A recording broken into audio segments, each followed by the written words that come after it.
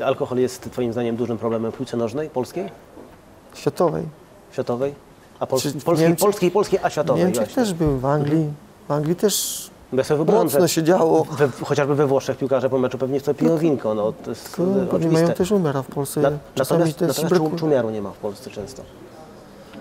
No z niczym nie ma umiaru. Mhm.